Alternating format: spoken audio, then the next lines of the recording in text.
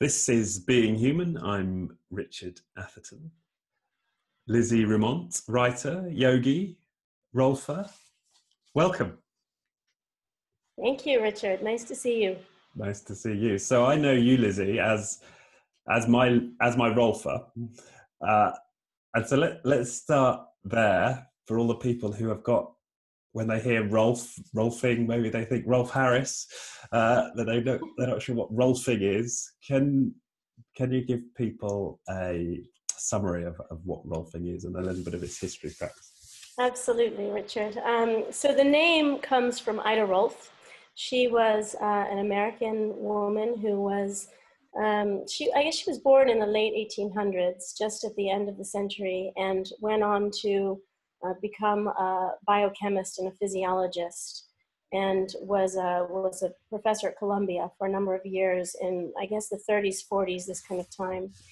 And um, through her own fascination with, um, with physicality and also through challenges of her own, her own familial challenges, she had a son who apparently was not very much in his body. She had a, a riding accident at a certain point and so she had these uh, physical challenges, seeing her son and how he dealt with proprioception and, and how he dealt with being in gravity. And then through her own limitations later, she worked um, very closely alongside osteopaths, uh, craniosacral therapists, and was also practicing yoga, as I understand it. And um, I guess through all of this work, she um, questioned more than anyone else had done to date from a from a I guess written standpoint. Uh, how is our relationship in gravity, and how does it affect the tissues and the held spaces in our in our body? And so from this, um, I believe the origins really were she was working with people in practicing asana and assisting and, and getting into tissue in those places. And um, well, just, brief, just to, briefly for people who who don't know what the what ah, yes. is. That? Yes, so, so the physical shape. She was working with people in gravity, in their physical shape. And, um, and this evolved into her, I don't want to say discovery, but her belief that a special tissue in the body called fascia was actually more organ like and ever present than um, had really been documented before. And today, in, uh, in the modern medical and anatomical world, we now have come no, uh, to know fascia as a spider webby matrix that uh, is um, basically exists surrounding every cell, every bone, every muscle, threaded through every type of different tissue within the body. That, in a sense, is the the glue to our, our fabric of, of our earth suit, so to speak. Mm. And um, and so, you know, one way that for, for your um, listeners, uh, scar tissue is an example of fascia that's become bunched up and held to ad- adhese ourselves. Um, but actually, all of the organs and uh, skeletal system, muscular system are um, surrounded and threaded with this type of tissue. So it really holds our posture. And right. over time, certain habit patterns, um, probably the most common is just sitting at a, at a desk or dropping to your mobile phone. Um, these patterns become held in our body and, uh, and create all kinds of issues. Now, we also have mental patterns, as you probably know, um, and those um, also hold us into a space. So where we work through the body, but you know, the, the tissue actually um, holds a world of information and experience that can be um, either simply physical, but oftentimes there is is not separate from the psycho emotional side of, of how it is to be in our body. Hmm. So that's the long answer. The okay. long answer. So coming back to what rolfing is, um, I guess the easiest way to describe it is a system of um, releasing the tension strains that exists within this fascial web. And um, we do that through table work in the form of, of touch, um, not unlike a very deep, slow um, manipulation of the body. I don't want to say massage because oftentimes that's um, very superficial. Um, but it can also be through movement. We work with movement as well. Yeah. And what brought you first to rolfing? How did you how did you get into it? Um, well, I'd been I guess in the realm of uh, alternative body work for some time. I am at that point I was a yoga teacher and a Thai masseur and a craniosacral therapist. And I What's had that a who aren't sure a craniosacral. so, yeah, so craniosacral therapy is another form of um, touch therapy that is uh, also, in a way, working with fascia, but in a much more subtle way, um, where instead of the fascia directly, there's a fluid that is also um, inherent in, in the fascial structure. And uh, craniosacral therapists work more indirectly with fascia using that fluid and the rhythmic balancing of that fluid to bring the body back into a balance. Hmm. So I would say that it is a, um, it is, uh, there's something about Rolfing in the structure of the work. So there's a framework in Rolfing that starts with these 10 sessions that um, in a way is working within the structures of the body to kind of systematically reset the whole structure. Um, whereas craniosacral therapy um, oftentimes will work with either a, um, a bigger goal, like um, you have headaches that you, you know, so there's a rebalancing going on within, um, within the work know, in a different way. Hmm. But anyway, um, I, um, I happened to have a frozen shoulder at a certain moment in my life about uh, 10, 8 years ago, something like that. And I had been to all of the other types of therapies you could think of to try and help this shoulder with uh, physiotherapy and osteopathy, uh, acupuncture, mm, these kinds of, of things. And finally, someone said, you know, you really maybe should see a rolfer. So um, that was my entry point in knowing nothing about it. I, I went in and asked, can you fix my shoulder? and, uh, and at that point, I got kind of a shortened spiel of what I just told you about this, um, how the tissue is and the framework that normally it's not a one-off session. But um, the therapist, the, the Rolfer was kind enough to see me anyway for that one-off session. And it was very immediate. I knew that level of touch. My body craved it after having years of, I used to have an office job. Uh, I traveled a lot with my work. I was not in my body. I was a marathon runner with incredibly kind of tight um, physique. And I, I just, I knew that I did hold a lifetime of experience in the tissue that needed to be uh, unfurled somehow or unstuck. So that was my very first experience. And it worked? How's the shoulder? So after three sessions, it, it, the, the pain went away, but she had never directly worked in the area that was painful to begin with. So this was a very big moment for me of recognizing that something deeper was going on and that it wasn't just a sort of localized thing. And, you know, injury never really is. We're a part of an interconnected system, being human. And uh, so she was working uh, down much lower in my thorax around the liver area.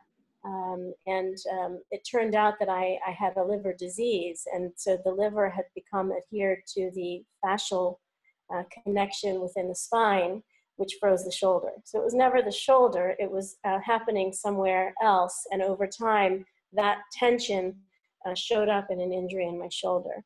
So when it when it was uh, resolved, I was really uh, was very interested to learn more about what this what this was that was happening, and um, I found I did a lot of research and I discovered that there were these uh, principles of Rolfing that really intrigued me because in a way it um, reminds me of sort of the yogic framework where at first you might think it's just about the body, but then you start to have an introduction to the philosophy of it and they, they change each other and then you have a different experience of perhaps chanting or uh, breath work and all of a sudden uh, you realize that there's this very dimensional uh, multi-layered thing. And for me I, I found that with, when i started to understand why are the sessions um, strategized or placed the way that they are. You know, there's a, a reason for all these little details um, that come up through the session. And I found that really profound as a reflection that I could take out into my my life. You know, uh, my messy desk that was not structured, I started to realize, ah, there's a connection. Messy desk isn't structured, messy body isn't structured. so I tried to, and I, I got curious about how do I create more um, organization in a semi-fixed way, you know, in my body and in my life so that I have space to move within that semi-fixed reality. Um, so yes. You mentioned there that your your liver disease, and I mean, I I read your your website before this interview, and and your story is is extraordinary. I'm like, how is she still alive, right? And and giving all that you're giving to to society. So, and that that started when you were really young, right? And is it, did I... yes, yeah. Um, when I was three, I was uh, diagnosed with uh, ulcerative colitis. Mm. Um, and actually, there's a small population of people that uh, have this disease that they're not sure if it's Crohn's or colitis, so you, they're called indeterminate. But uh, that's only important because it's those, uh, it's that little group that um, has a more of a risk to for it to kind of overtake the whole uh, digestive system over time and then scar the bile ducts and eventually the liver. So it's it's a pretty rare disease, and it, it you know it's it started. Uh, I guess the roots of it started a long time ago, but um, manifested in this secondary disease called primary sclerosing cholangitis, that is a scarring of the bile ducts. And that, that happened uh, about when I was about uh, 33, I was diagnosed with that disease. So in that moment, that was a transformational moment um, because uh, when you're 33 years old, when I'm 33 years old, and I heard that uh, in 10 years I would have end stage liver disease, for me, that really was in 10 years I'd be dead for sure, hmm. because the idea of having a transplant was so over the top for me. Uh, how could that even be possible to get a different somebody else's liver the organization the uh, it was like rocket science you know? Um, and so i really made a lot of changes when i was 33 because i uh, i wanted to have a meaningful existence more than what i felt i had at that moment. And what were those changes? What so what what started? Well i was a creative director at the time. Um, i uh, you know i found aspects I, i'm very visual and um, and in some way i guess those design structures help to see things people and gravity now um, but um, i was i was i was doing work for quite a few kind of um, either innovative businesses or um, or large businesses. And I guess overnight it just stopped being interesting, that work. Um, you know, I was working in a way where I wasn't as hands on with the, the, the, design anymore, and I was working more. I found myself um, being more interface, having more time interfacing with the business owners and the, um, the stakeholders. And it wasn't as creative as it had been when I was younger. Hmm. And um, I just realized that really there's more to life than selling beer and electronic products. And um, yeah, it just it became very apparent. And from one day to the next, I just really lost the thread of that old um, of that old career. And um, and you know, I went into a, a period of um, kind of chaos, really kind of um, you know, it's like a tornado hits you and it makes you investigate how strong the pillars that you have are in your life. And those pillars, for me at the time, were the environment where I was living. Um, I was living in a, in a city that at one, a town that at one point had really interested me because of the uh, interactive creativity going on. Um, but I didn't have any family there or any relationship there my health was in steep decline. it was a, a, forest fire of a decline, and um, and you know my love life wasn't on fire, mm. and so I you know I didn't really have anything holding me up, and in that moment, I guess that's when really great things come to the surface um, because you're really faced with finding a meaning, finding a purpose, um, exploring. Uh, really in an immediate kind of direct way what what am i innately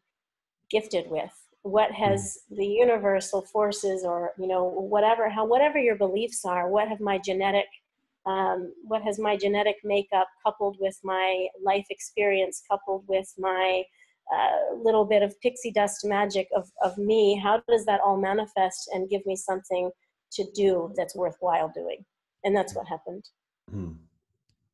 And and where and so you moved for geography as well i mean where were where i did i had been moving uh, i had been living in amsterdam for about seven years and um, in order to make the changes that I wanted to make, I, I couldn't do it there for lots of reasons. I was an American living in Europe, and um, uh, financially, I didn't have a, a good basis. So, actually, um, I, at the time, my boyfriend um, was living in Kosovo and working for the UN.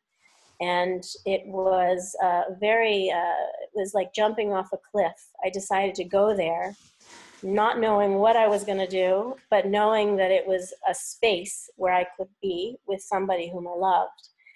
And uh, I, I did part-time pro bono work with some uh, some of the charities that were on the ground. War Child was there, UNICEF was there, it was there, and I um, I started teaching yoga to the UN, and also to um, to ethnic Albanian and Serbian women together in the back of a pub with loud Eastern European techno music, lots of cigarette smoke, and a little sheet hung up to demarcate where we were going to be practicing yoga. And it was really, and I was, I was, I was able so to have. These women the came in with their pints and put the pint down on the side before they got into the. No, because these were the women. It was. It, I didn't have any men in those classes. These were these were women. But um, the thing that's interesting though is I was free to do two different things and to see where my energy went. Okay. And it was very clear I really loved teaching yoga. I had never taught anything in my life. I felt that somehow naturally I could communicate something that I had experienced in, in my body um, to with other people. And it brought people together. And it was just, it was a lovely time of, of newness. And that's when I decided to do my, my teacher training. And, um, and then a few months later, I uh, was on a cranial sacral Thai massage training, not really expecting that to happen, but my, my beloved dear friend was going on this course and I wanted to, to go and spend time with her. So I did it too.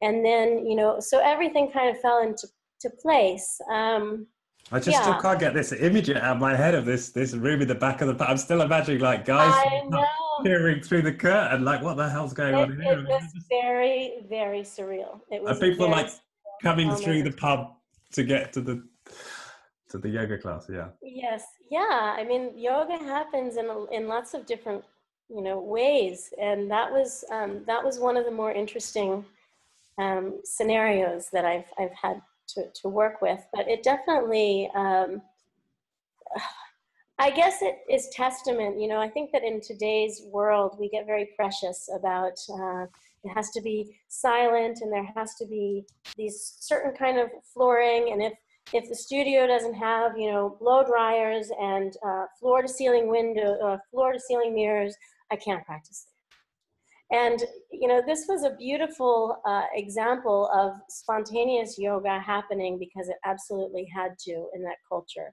and finding a place where we could come together to make a start. And um, for me it's it's all about starting where you are.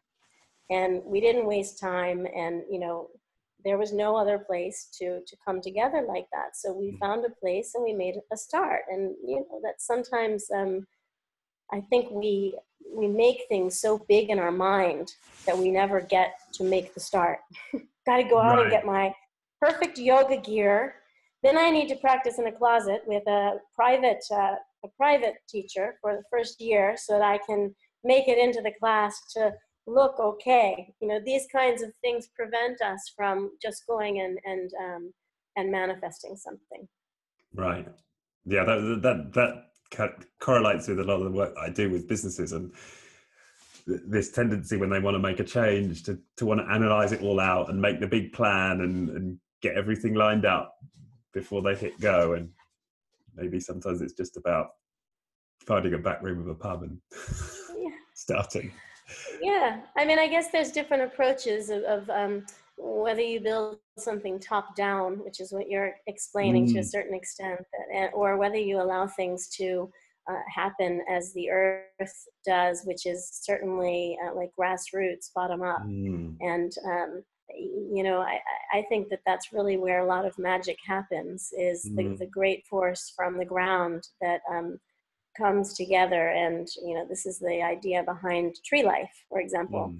You know you have this huge underbelly world of roots and uh, fungi and you know all kinds of things going on that then manifest. We only see the, the top surface but it's the it's the the bottom up sometimes that you know, these tiny things just um, you don't need much to manifest something in, into life okay so you're in Kosovo. You're you you're you're doing your, your yoga teaching. So actually, before that, you must have been doing yoga for a while to become a teacher.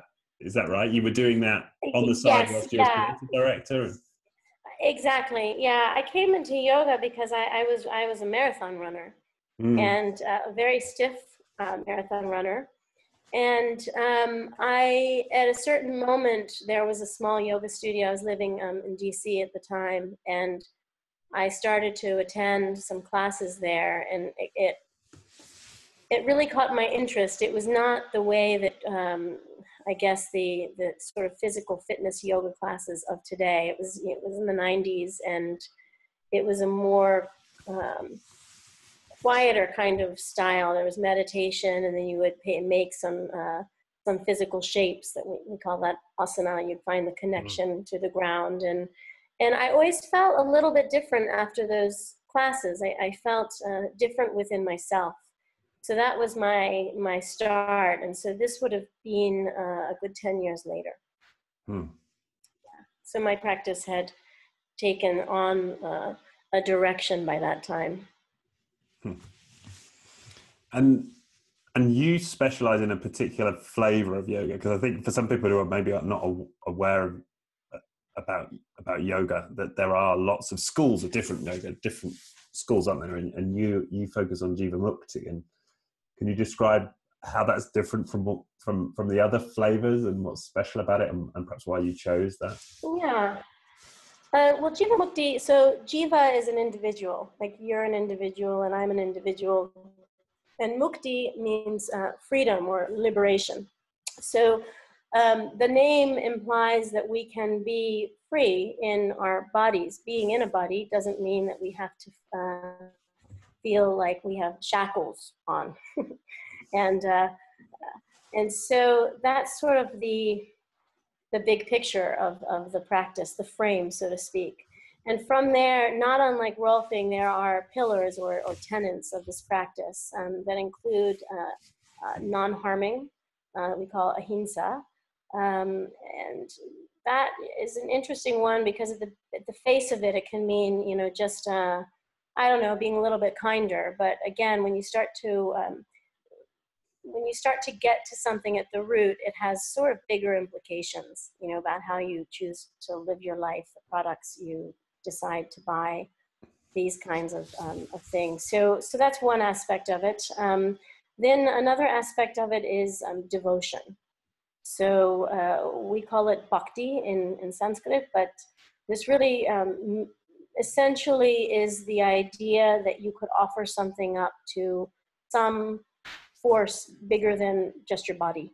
You know, having an idea that uh, we experience life through the body, but to be able to um, have enough grace to understand that we're not the doer. You know, um, so that was that's another aspect of it. Um, let's see. We also um, do a lot of uh, study of philosophical texts. So we could call it self-study, but really um, it's referring to ancient scriptures of the yogic philosophy to, like a roadmap, better understand how to be on this path of non harming, uh, mm. to find this sense of being a little bit more free in our, in our body and mind. Um, and then there's um, an aspect of sound as well. So, because actually everything manifest comes from sound, this is an important practice of yoga, not just to allow the body to be an instrument, you know, an instrument with a string that's not quite in tune doesn't sound beautiful. It's hard to, it's not resonant. And so um, we use sound, but we also um, understand that to mean that there is a sense of listening. We, we, um, the inner listening is quite important. Um, and, uh, and then lastly, meditation.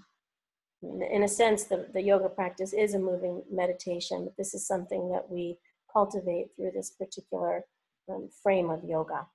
So these five, um, five tenets, so to speak, create the environment for the kind of rigorous asana practice, you could say, the, the hatha um, vinyasa type of, of, of yoga practice.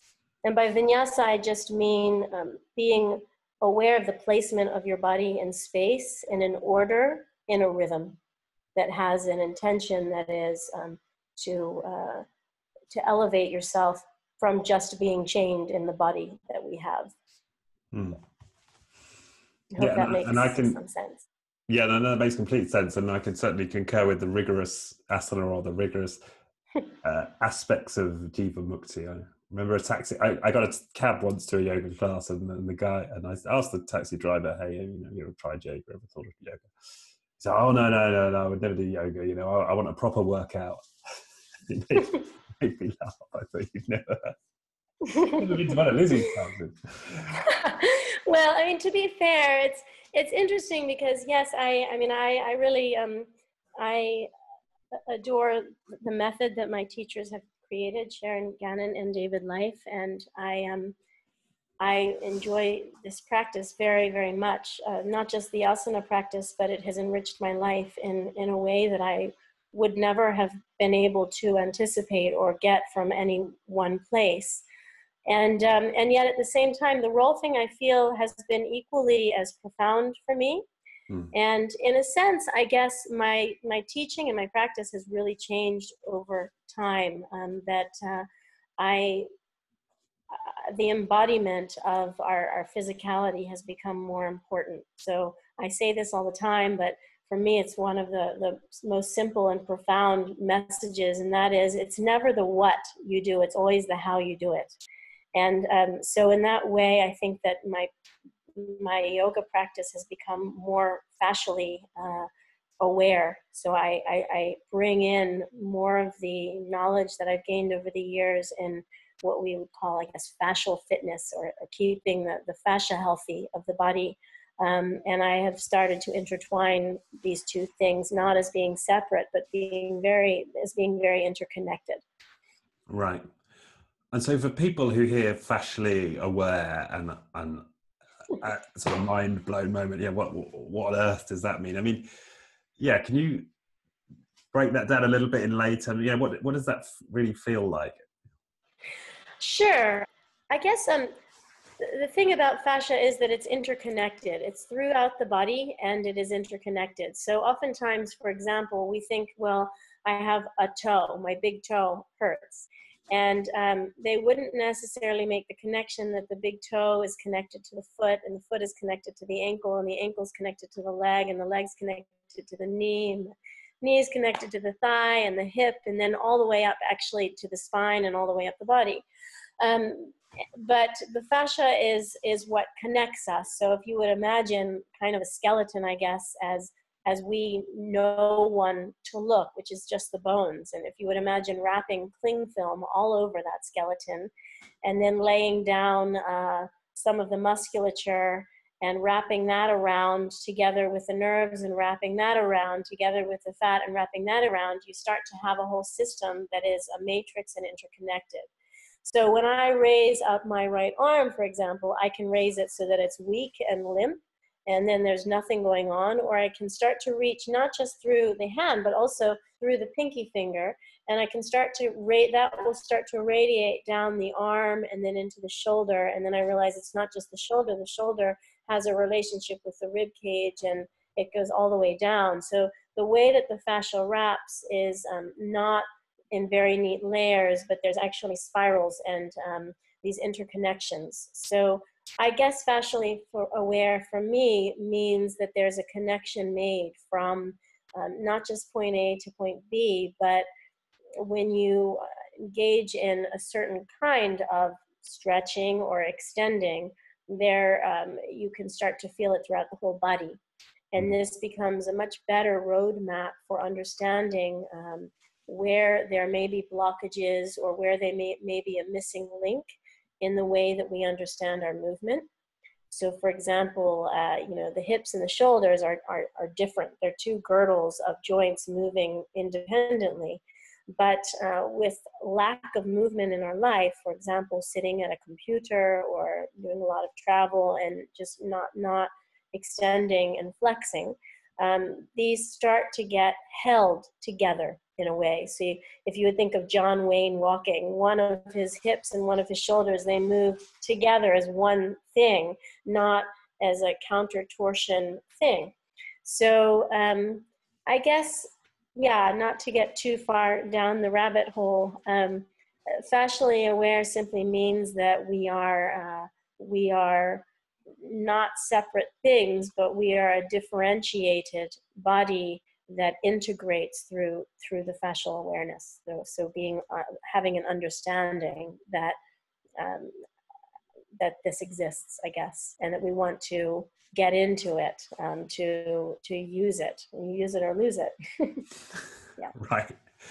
Yeah, and I totally relate to the John John Wayne point because I think when I started working with you, I had the John Wayne thing going on and and learned to find my hips and really self-conscious about that thinking i look really fey when i first start to find my hips. And then over time realized no no this is this is what being a being a human using all of my body and, and feeling that connectedness means that you know I, and i found myself walking much more efficiently and uh, and, uh, and and enjoying just just just enjoying the simple pleasures of moving around in my body uh, to a much greater degree. Uh, and and what you said about um, the the idea that just because we this goes back to your talking about your frozen shoulder that it may be that the place you need to work on is is is oblique to the the area of concern or the area where there's pain. And I found that with my hamstrings. It's a lot of work. We've we've worked all over my body um, to to address some of the the the tightness that I have in my yeah. my hamstring hamstrings. Sometimes the uh, analogy of a jumper, a sweater, is used where you know you have um, something happening in one little thread in a certain place, and then the whole jumper kind of gets set askew over time because of this little uh, this little glitch in the fabric.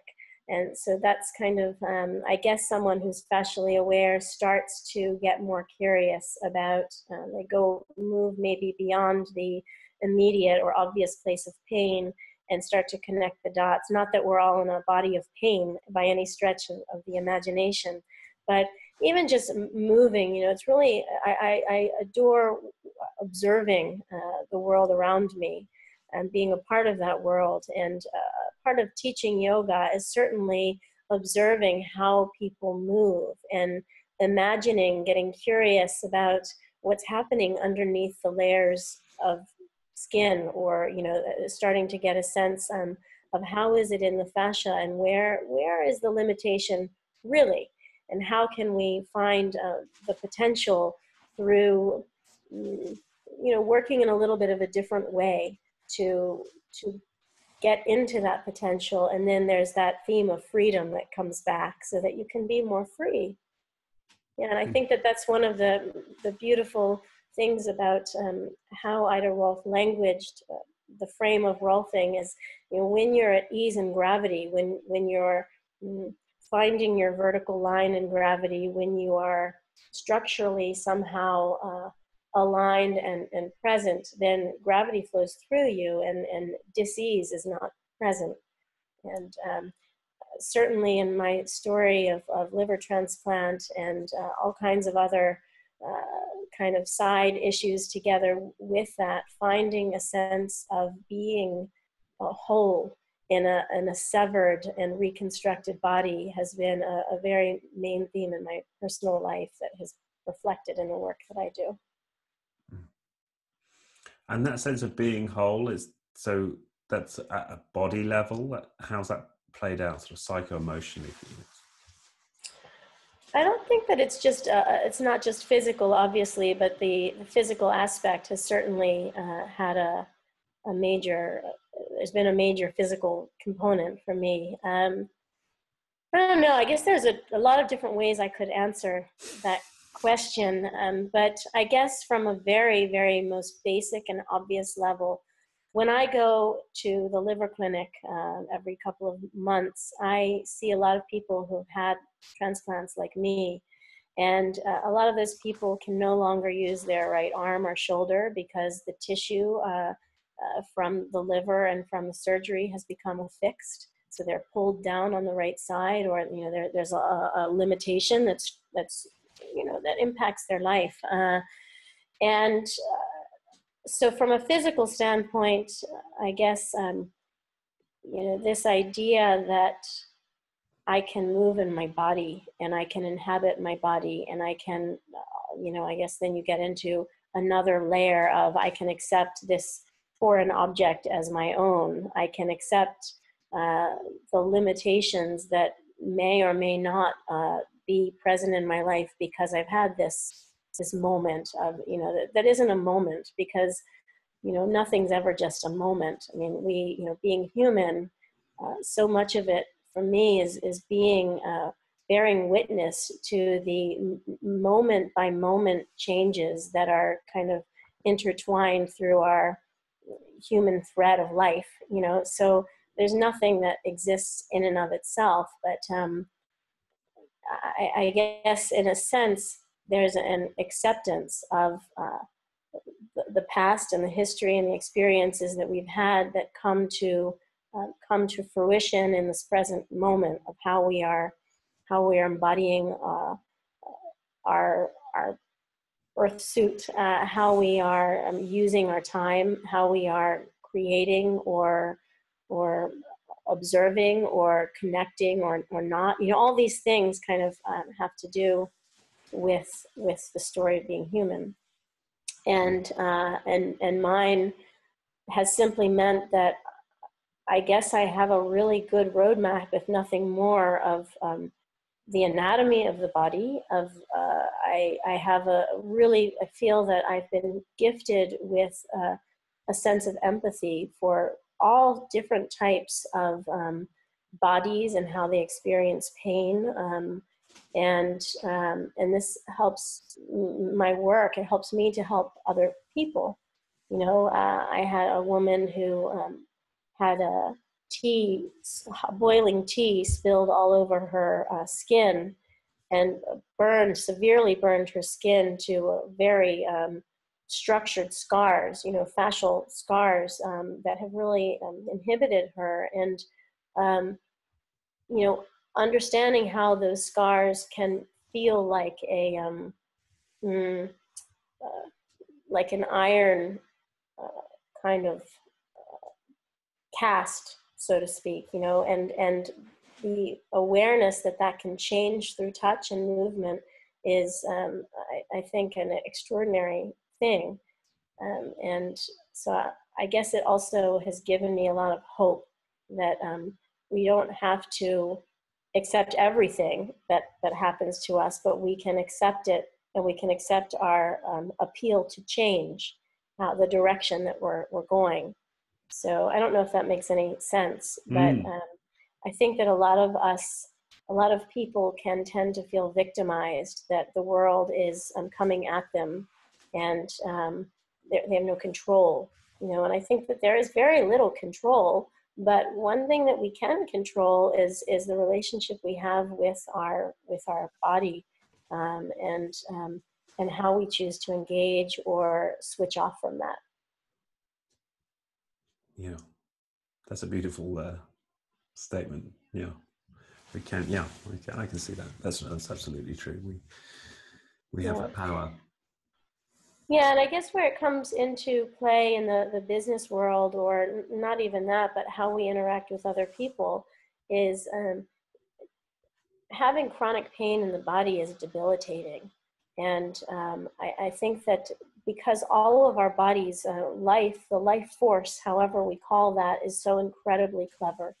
It's magical in the way that uh, you can see it in nature best, you know, a tree growing through cement, for example. Um, but our bodies are like that too.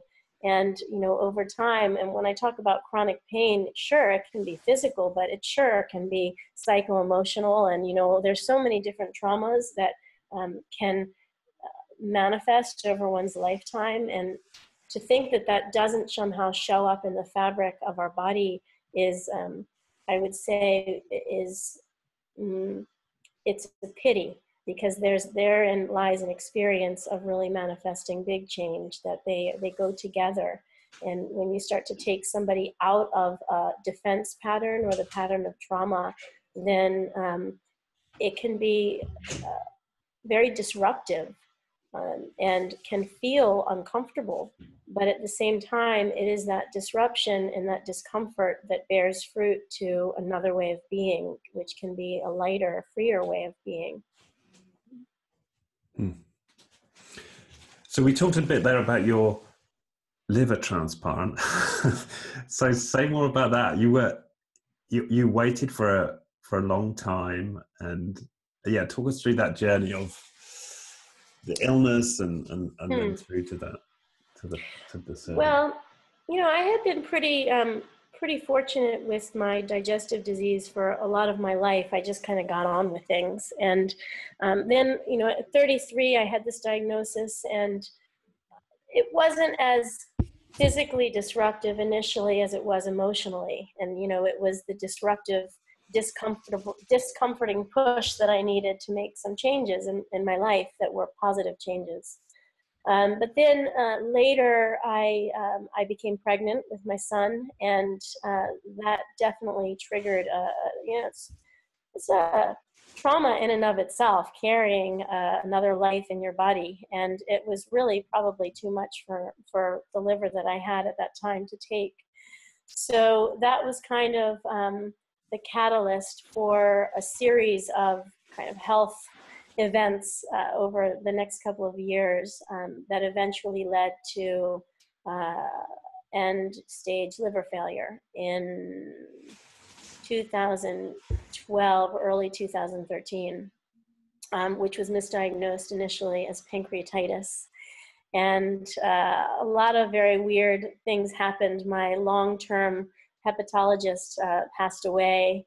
And uh, so, uh, who was kind of, I think, in denial that there was any problem. He just wanted, you know, he was he was very unwell himself, and so I got kind of passed along to a much more direct, younger uh, doctor, and you know, within the first day of meeting him, I could hear him talking to the the medical students, like this next young woman is going to need a transplant immediately.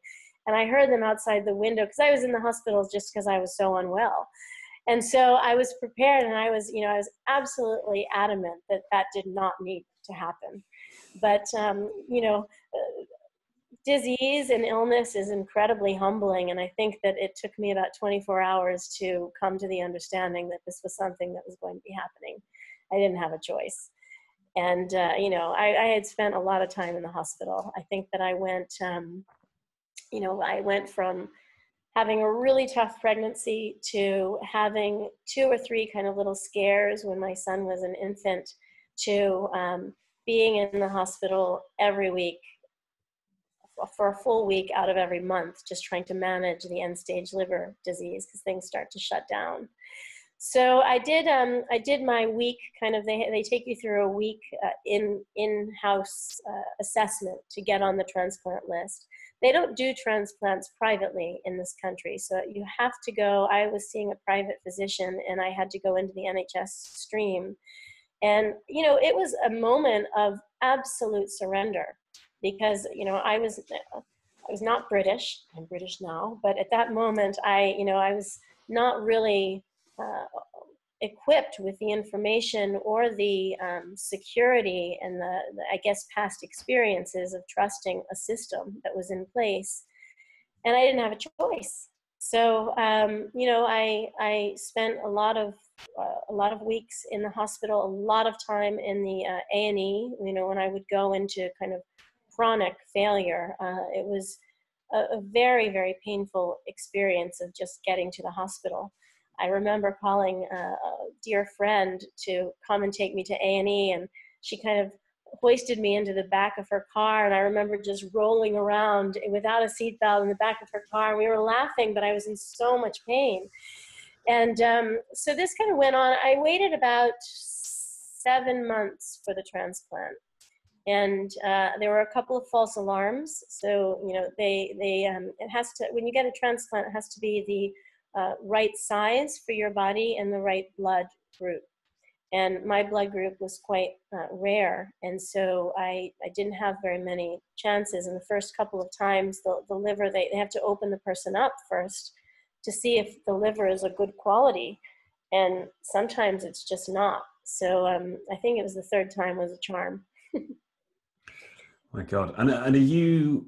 So what's going through your mind? Is it each each day you don't get a transport, you're you're scared you you might die? I mean, what's the? Yeah, yeah. I mean, it, it well, it kind of was. I was very very lucky um, that um, the the yoga studio where I was working were very uh, understanding, and so I really wanted to keep teaching during that time. It was. Mm. Um, just you know it's a reason to get up to have a reason to be is the most important thing that anyone has in their life is mm. how, why do you get up in the morning and certainly i had my son um, but I, I think that to be a part of um, a community it was kind of almost a way of escaping um, that i could still continue to, to forge along because when I wasn't teaching or with my son or, or, practicing yoga myself, I did, you know, I would read the obituaries and, uh,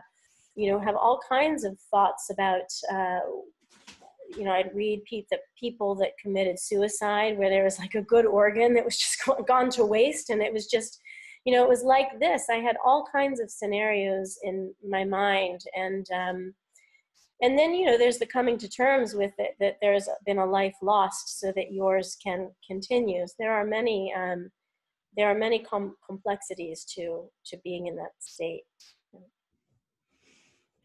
wow but yeah. uh, you you clearly you you got one in time and and you're here to tell a tell a story do you have any of those weird effects that people sometimes report when they have somebody else moving I guess my taste has changed um, some. You know, I think that I used to have uh, m- more of a sweet tooth than I do now. I, I so the taste for food has has changed. Um, I didn't get any uh, like oh I, I I had a memory that wasn't mine. You know, nothing like that. But I do. So I have a my liver is now seventy years old, and I believe that um, somehow a part of integrating with my liver has meant that I I feel like an older person. I mean, I can really relate to um, to older people, and in some ways, I relate less to the younger side of my age. Um, so I guess that's probably that's probably the, the biggest lasting um, effect for me is that there has been an integration causing me to perhaps feel a little more aged. not, you don't do it. Okay, so the tastes I'm interested in. You got some sort of strange new flavor of ice cream you now crave you didn't before. No, you know, I, I don't know. I just I'm more. I guess I like more sour things now. Okay. Um, so I I, I brew um, kombucha, which is a mm. kind of fermented tea, and I don't know that I would have really gone for that pre-transplant. I was a more kind of um,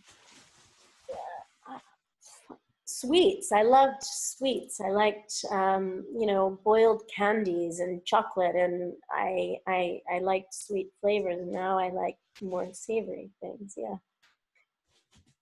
And you've got a relationship with the family, is that right? No, um, they so they only tell you uh, the the sex, the uh, age, and how the person died. And I did write a letter after about six months to the family, but I think it's quite typical you don't hear back. Um, I, I think most, in the majority of cases, you don't hear back. I think a lot of times people are just trying to get closure. Hmm. Okay. I got one question to ask about your rolfing experience, and maybe this is for people who that this rolfing conversation has piqued their interest. What I mean, I can talk about my experience a bit, but what's your what's the biggest turnaround or, or that you've observed as a rolfer, even in your, your personal practice or or from other rolfers? Hmm. Well, I would love to hear your story. Okay, um, yeah. Because you know, I, I, think that would be. Um, I think that it is really um, quite remarkable. I mean, we've been working together a number of years, mm. and you know, like your toes have been. You know, uh, Richard's toes were quite um, kind of curled up and held up when we first started working, and now he has a much more extended foot. So that's you know that's just the tip of the iceberg, of course. Um, but um, you know, there's some um, people I guess from a physical perspective, people who have scoliosis tend you tend to see some dramatic changes. Um, you know, I I tend to really enjoy um, enjoy working with the integrated person. So it's it's wonderful to see people that are more in their body and more inhabited and um, feeling more confident in these kinds of things. Um, but you know, I think that there's also uh, a, a, depth, a level of depth and a richness to seeing uh, a, a, transformation that happens from kind of the inside. You know, like fundamentally, um, I realize that perhaps I need to make some bigger changes in my life or uh, move country or you know change partners or change jobs or uh, you know start um, lose weight. I don't know. I, I find that the um, the ability for humans to change is really uh, very profound. Uh, you know we're just an animal. And uh, you know a lot of animals when you look at the way animals live it's very predictable you know, squirrel, for example, they kind of do the same thing. I mean, I don't know any personally, but I, I know from watching them around my garden that they have uh, they have kind of a remit in their life, you know, to collect mm. food, to make babies, to protect themselves, like like this. And I think that uh, I can't really think of another um, species of animal that um, you know can change the continent that they're living on and um, change sex partners, not just saying change sex partners, but make families and intertwine those families, not lose one and, oh, well, you know, I've just found another buck and I'm going to go have some little, um, you know, some little, I don't know, offspring with him. And my, my other kids have now flown. The, no, but we, you know, humans, we have, um, we have an ability to, you know, lay a, a trail down that um, that doesn't it's not just out of breadcrumbs you know the trail that we that we leave is um, is perhaps more in some ways um, has more of a foundation or i don't really know where where what what i'm trying to say but i guess we have a great capacity for change and a great capacity to um, to create and to um, to manifest and to express and to um, i don't know um, to change the fabric of culture over time you know and i think that um, for me this is really a, one of the main aspects of being human that is really very fundamentally different from other earthlings. Mm. the disability to transform the circumstances of our lives and and who we are. Yeah and hold a thread mm. and hold a thread and not forget who we were or where we came mm. from mm. Um, but actually to to take that on our journey hmm. and you know it doesn't need to be that you have a, a big baggage and all the pictures and photographs of the past but we take a thread of it anyway in our being in our fascial matrix in the fabric of of being human and um, you know i think that it's hard to know what other animals how they how they are because we don't speak the same language in a you know the, from a linguistic context but it just it is striking how um, how different that is. Hmm. yeah. Yeah. You asked me about my journey. So I, I could be another show i suppose but i mean i suppose in a nutshell what would i say a nutshell talking about squirrel remits um, i so so for me i've been doing it in conjunction with doing therapy. So so it's for me it's like therapy squared or, or therapy cubed. So, so the, the talking therapy that i do acts very much on a psycho-emotional level of course with reference to the body but the work we've done has allowed me a deeper access psycho-emotionally to the same themes and they all play on each other. So i'll take some insights i get from the work i do with you into therapy and vice versa. And it's it's helped me transform in terms of my personality. And especially uh, for me masculinity has been a huge theme in our work because i think that the way we we express the those gender characteristics is very physical right? I, I, think the way we hold our bodies and the stance and the way we walk. And so that's been a, a huge theme and, and that's meant more confidence and um, just an, an, an easiness, you know, a, an ability to be at ease with myself in life and in interactions. And then in my in my body, it's been this uh, yeah greater sense of freedom of movement and and a, and a greater sense and, and of of, of sway is how I'd say it. Like, uh, yeah, I, I, mean, I can I can sway in a way that I didn't used to. I, I used to sort of not quite shuffle, but yeah that's what and then and the hamstrings which is still my barometer i think for, for my progress is how stiff are my hamstrings. There's there's still some tightness there and it tells me that there's still there's still more to go on this journey but it's like just that's completely changed you know. I could barely touch my t- toes even after more than a decade of yoga and that's what used to frustrate me so much in yoga is i, I you know see somebody come in for their first yoga class and they'd be like bending down and touching their toes and i'd be like oh man and um and now that's yeah so that's been a big change. Is that yeah as i say physically is is that uh is that flexibility. Um, but it but it goes much much deeper than that um I guess one of the points that you raised that is, I think, quite interesting is, um, you know, a lot of the the work, um, whether it happens through a yoga class or or rolfing or visiting a, an osteopath or you know going to talk therapy there has to be a will or a curiosity at least to try something else to for example uh, you know if you've always been hunched over in your seat there has to be a will or a curiosity to perhaps explore a different way of, of being. And i guess um, what i'm trying to say really is that um, the, the biggest changes and transformations i've seen in terms of role rolfing has definitely been with um, people who are going through a process of looking.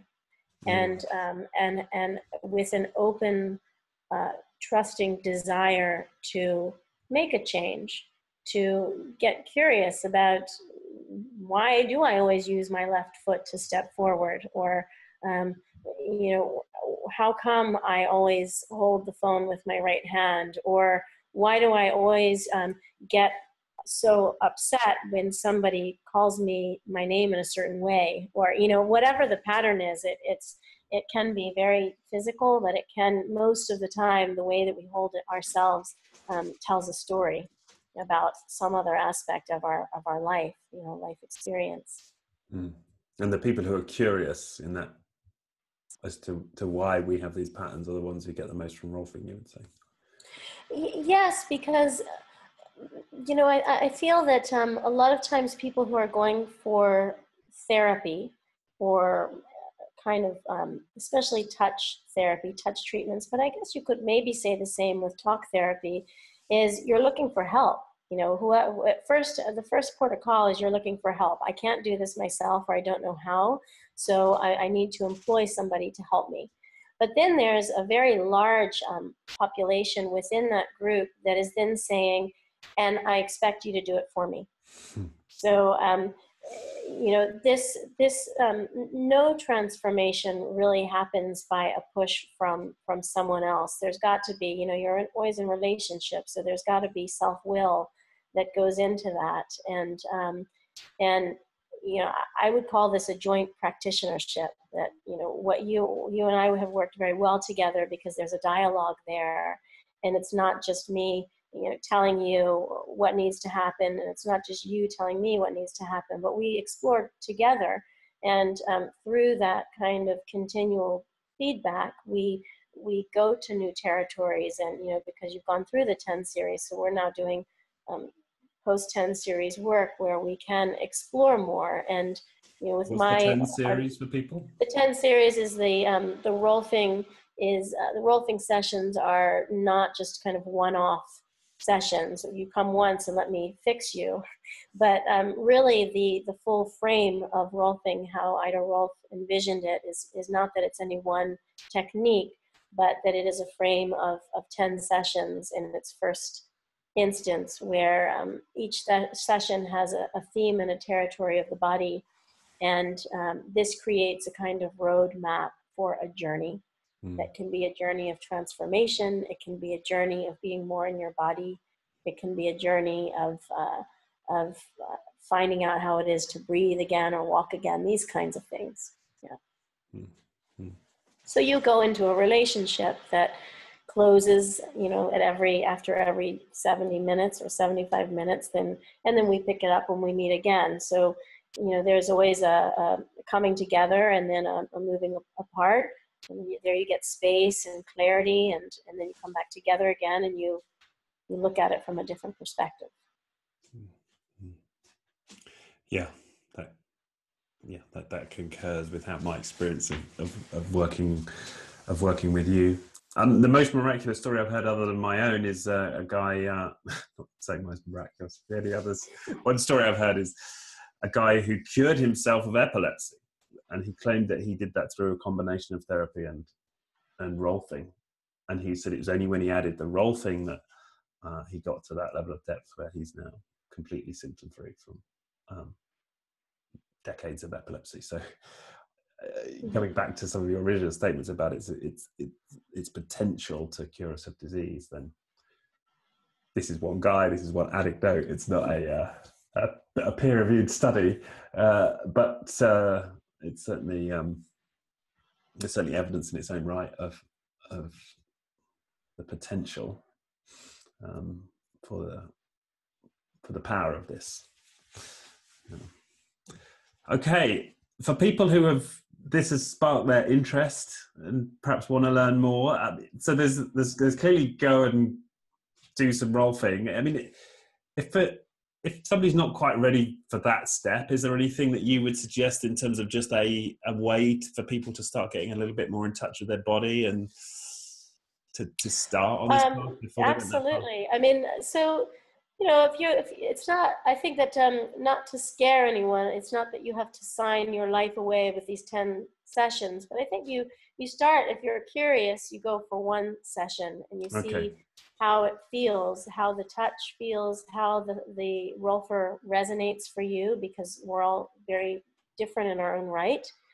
Um, but also, I would say, you know, go out in nature. Go out to uh, a field or a beach or whatever and connect in some way and um, you know uh, so much of this is is how expansive we can uh, allow ourselves to be and so for me being in nature is a way that really allows me to check in and um, i would imagine that it releases tension in and of itself um, which you know it's it's that's one way. Um, just going to a, um, there are a number of classes in London now. If you're in London, that um, that are much more uh, sort of embodied type of, of classes practices. Um, so finding uh, any kind of movement practice that has a frame that you can be slow enough to connect dots. Um, movement classes. There's a, a whole subcategory. It could be yoga, but it could also be Tai Chi. It could be Feldenkrais. It could be an aquatic uh, movement class. It could happen uh, at, in any frame. You know, I think the first step is is starting to um, get curious about how is it to breathe, how is it to to be in a chair sitting. Am I slumping when I try and sit upright? Then am I holding something else in somewhere else? And you know, if, if that's all happening and you start to get curious, then go see a rolfer at least for one session. And um, and I think that um, that's often how it happens is it just takes that little first step kind of like the, the yoga in uh, kosovo is you know don't make a big deal of it. You make it a, a, small little step and and you give it a try once and then you kind of go from there. Right. Yeah and if, you, if you're in, in a pub and you're seeing people in leggings going behind a curtain in the back room yeah maybe follow them through. Yeah, but I am teaching a workshop in June, uh, June 17th, called Embodied Yoga and Fascial Fitness. Okay. And um, it's, you know, it should be, uh, it's open to anyone. Uh, and we, we start to move in a way that hopefully will start to connect some of those dots so you can know what it means to be fascially aware. Okay. And on, on that, and that's they can find that on your website, right? You've got a website. What's yes, that? yes, it's uh, free Liz freeliz.com, F R E E L I Z.com. Check that out. And uh, you've got an Instagram feed as well, right? With your temperature pictures. Uh... Uh, yes, Jiva Lizzie. I think I'm Jiva Lizzie on Instagram. Fantastic. All right. Thank you so much for your time. And uh, yeah, nice thanks for your stories. Okay. See you soon. See you.